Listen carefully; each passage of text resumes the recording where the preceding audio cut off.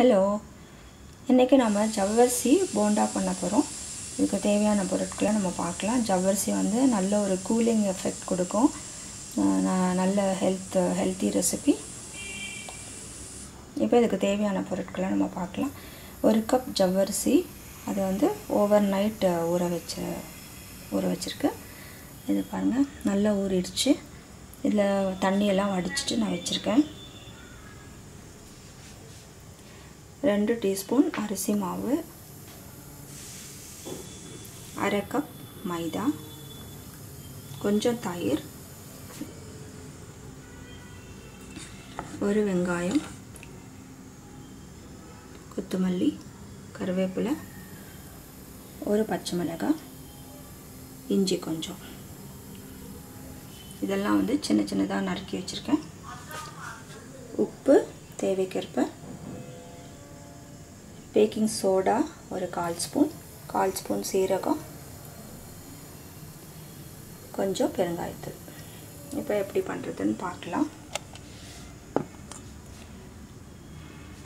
First இதோட வந்து நம்ம மைதா போட்டுக்கலாம். இது நல்லா ஊறிருக்கு அதனால் வந்து அரிசி மாவு இதை அப்படியே பசைஞ்சிக்கலாம். நமக்கு தேவைப்பட்டுச்சுன்னா தயிர் வந்து கொஞ்சம் கொஞ்சமாக ஊற்றிக்கலாம் இதுலேயே ஈரம் இருக்குது வெங்காயம். பச்சை மிளகாய். இஞ்சி. கொத்தமல்லி. கருவேப்பிலை. உப்பு. சோடா மாவு. சீரகம். பெருங்காயத்தூள்.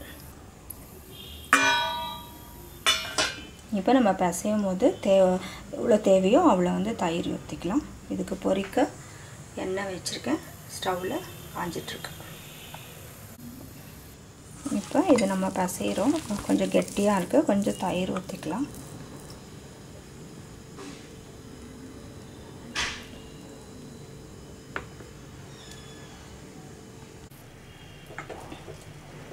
இப்போ எண்ணெய் காஞ்சிடுச்சு இப்போ நம்ம வந்து போட்டு பொரிச்சிக்கலாம்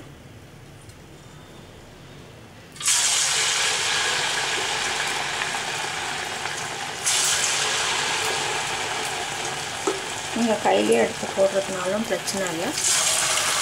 இந்த ஸ்பூனில் இதே மாதிரி வந்து போட்டாலும் பிரச்சனை இல்லை. நல்ல ஒரு ஹெல்த்தி ரெசிபி ரொம்ப டேஸ்ட்டாக இருக்கும். இப்போ அது லோ ஃப்ளேமில் வேகட்டும். அப்போ தான் உள்ளெல்லாம் வேகும்.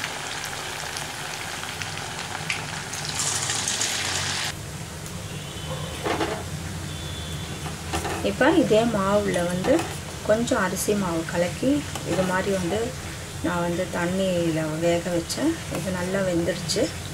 இதுவும் வந்து நல்ல ஒரு ஹெல்த்தி ரெசிபி இது ஆயிலெல்லாம் இல்லாமல் வந்து வெறுமனையாக தண்ணியில் வேகிறதுனால அந்த தண்ணி கூட கஞ்சி ஆட்டம் நம்ம குடிச்சிடலாம். நல்லாயிருக்கும்.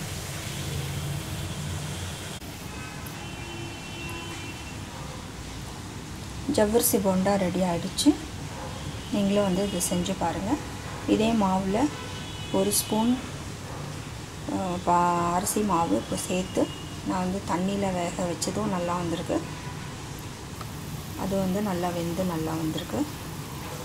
நீங்கள் இது ரெண்டையும் செஞ்சு பாருங்கள் இது வந்து ஆயில் இல்லாமல் இது ஆயில் ஆயிலோட ஆயிலில் பொரிச்சது. ரெண்டுமே வந்து செஞ்சு பாருங்கள் உங்களோட கமெண்ட்ஸ் எங்களுக்கு போஸ்ட் பண்ணுங்கள் Thank you.